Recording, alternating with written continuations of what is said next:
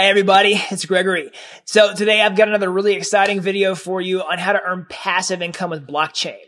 I'm going to show you how to set up your own Chainlink node so that you can, you know, earn cryptocurrency while you sleep. And that's one of the coolest things about this space. You know, there's all these opportunities to earn passive income and you have a massive leg up on this as a blockchain developer. So if you're new around here, you know, let me introduce myself. You know, I'm Gregory and on this channel, I turn you into a blockchain master. But you don't have to be an expert developer in order to follow along with this video. It's pretty straightforward. Like I'll show you everything step by step. The only thing that I ask in return is that you smash the like button down below for the YouTube algorithm and subscribe to this channel. And if you like this video and you want to learn how to master blockchain step by step, step from start to finish, then head on over to dappuniversity.com forward slash bootcamp to get started today. So in case you're not familiar with Chainlink, it's a protocol that provides real world data to smart contracts. And these are the building blocks of blockchain based applications.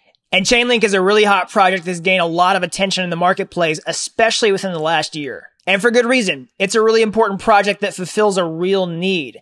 So let me explain more about how that works. So Ethereum is a really advanced blockchain that supports smart contracts. Okay. These are just blockchain based programs. The smart contracts themselves are just pieces of code that live on the blockchain. But they have one really important limitation. Okay. They don't really have reliable access to outside data.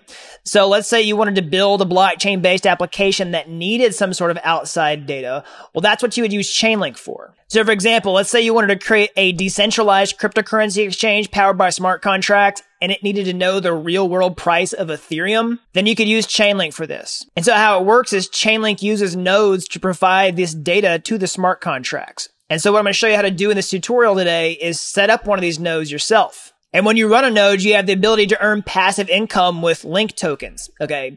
So this is different than, you know, running a mining node on Bitcoin or Ethereum, for example. Like those basically, you just set it up and it's there and it runs forever and you just sit back and earn passive income. So this works a little bit differently. All right. So in order to, you know, earn money with a Chainlink node, you basically have to look for jobs in order to fulfill the requests that are going to be processed on chain. So it's kind of like setting up your own little digital business. And so there is some some work to be done to get this system set up and also to maintain it. But once it's there, you'll be able to earn passive income by fulfilling those requests. And is this the kind of thing that you're going to just like set up and instantly earn a million dollars overnight with? Well, probably not, but it's still a cool opportunity that I want to show you how to set up right now. And so before we get started, you'll need a few dependencies in your computer. The first is Docker, which is going to allow you to install the node without having to do a bunch of fancy environment configuration. Okay.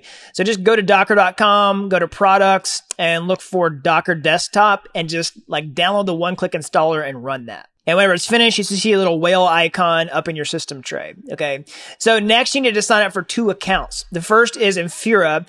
This is an Ethereum node that you'll need access to. Uh, so just go ahead and create an account right here. And then also go ahead and create a Heroku account. Just head on over to Heroku.com, click sign up, and we'll come back to that part later in the tutorial. All right. So the first thing we want to do is create a new directory to hold all of the Chainlink data. All right. So we'll do that just like this.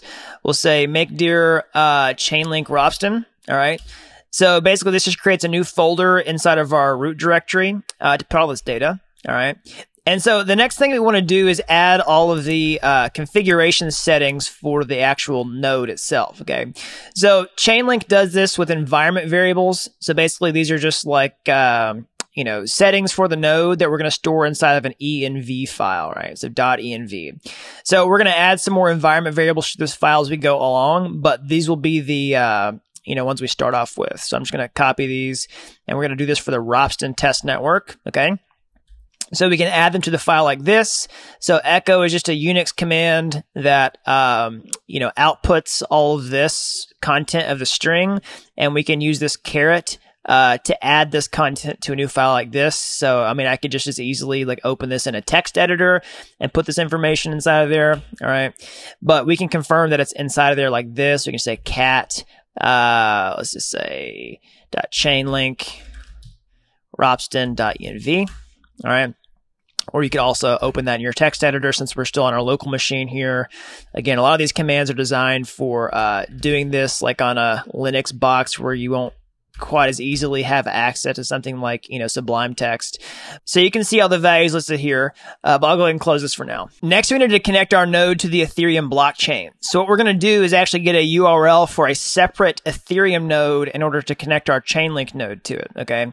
So, um, this is, you know, called an Ethereum client. So uh, you can do this one of two ways. You can either run your own node on your machine, uh, you know, something like Parity or Geth, for example, uh, or you can just use uh, a different Ethereum node that's already running. So that's what we're going to do in this video just to make things nice and fast. Um, so again, go ahead and sign up for an Infura account if you haven't done that already. And once you have, go ahead and get your free URL after you created an app. And make sure you use the Ropsten version, okay? And also the WebSocket version. So I'll show you what that should look like, all right?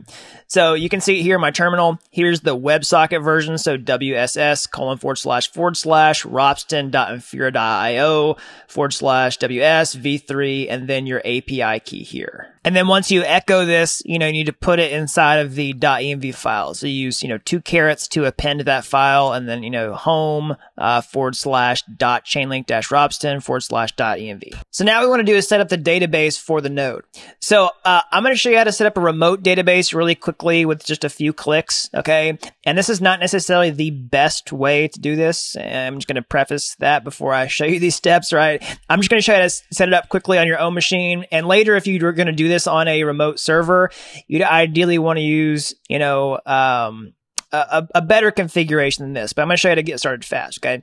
So basically, if you go to Heroku, you can just create a new app like this. You can just call it, you know, Chainlink, you know, tests, one, two, three, whatever you want to do. Okay. Go ahead and create the app. And then once the app's created, you can uh, provision new resources. So you can just look up like Postgres.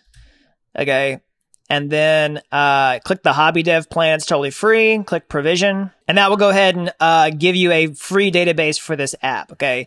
So what you can do is go to the settings, all right, and click review config variables, all right, and you'll see your database URL uh, here.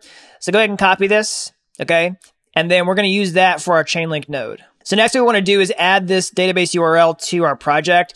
So we'll say echo and then we'll say database URL equals and then paste in that entire connection string. Okay. Make sure you close the quotation marks and, uh, two carets and then the you know chainlink ropsten.env file that's how it's going to add it to our configuration so if you look at that basically it has your username password um, database instance URL, the port, and also the database name all in the connection string. So go ahead and add that. And again, this is not the best way to do this necessarily. This is just a way that you can do it quickly without having to set up, you know, Postgres on your own computer. You know, if you wanted to, you could uh, do PSQL and then say like dash D and then template one, and then, you know, go in and actually create your own user. But I'll warn you, if you're going to do that, you're going to have some issues with Docker uh, because it's going to try to look for your database connection on your local computer, which is going to get kind of confusing because Docker manages like its own internal IP address kind of system. So um, this is the easiest way to do it for now. I would recommend doing this to get started. And if you migrate to a different, you know, hosting provider later, like Google Cloud Platform or Amazon Web Services, you can definitely set it up like an RDS instance for your database and then an EC2 instance for your Chainlink node. But for now, this is what we're going to do. And so if you do this on a server for real, uh, I highly recommend, you know, doing what they say here, basically where you save the username, password, server port database as, you know, variables as well. And then you build the, uh, you know, uh, URL this way. Okay. All right. And the last thing we need to do is go ahead and start our Chainlink node. So let's go back to our terminal and uh, enter in this command here. So we're going to change directory into the uh, Chainlink Ropsten folder where we store all the data. And then we're going to use Docker to uh, run the uh, image. Okay. And then we can tell it where it exists. All right. And also the .env file. And this tells it the location of the Docker image. Okay. So let's just go ahead and run that. And here you'll see a bunch of output where, uh, it's basically creating all the tables for your, uh, setup. And you'll be prompted to enter a new password here. So I'm going to go ahead and, uh, enter the new password like this and then confirm the password. Again, you won't see any characters displayed upon the screen. It'll just hide it from you. Then it'll ask for an email.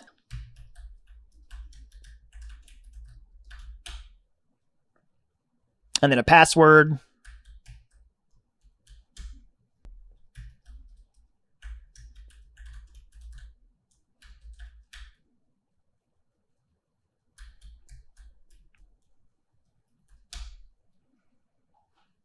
All right, and now that your node's up and running, you can go visit your uh, node operator dashboard. So go ahead and open your web browser and go to localhost colon 6688, and that should redirect you to the sign in page here and go ahead and enter your email and password that you uh, added earlier and click access account. And boom, there you go. Now you're ready to start uh, adding jobs and earning link. And now that that's set up, I'm going to leave you with some homework. Okay. So the next thing you need to do is start fulfilling requests. So in order to do this, you need to create your own Oracle smart contract and then add your node to it so that you can actually do these jobs. But you can follow this guide here step by step. Uh, it's pretty easy to create your own smart contract. You can just do it inside of Remix. And once you do, you'll be ready to start creating jobs. And if you want to get some ideas on how, you know, you can become a unique Chainlink node operator, well, you can go to market.link to see existing Chainlink nodes out there. All right. So this can give you some ideas on the types of data that you can provide to the network. And also you can start marketing yourself with this website too. You know, you can sign up and add your own Chainlink node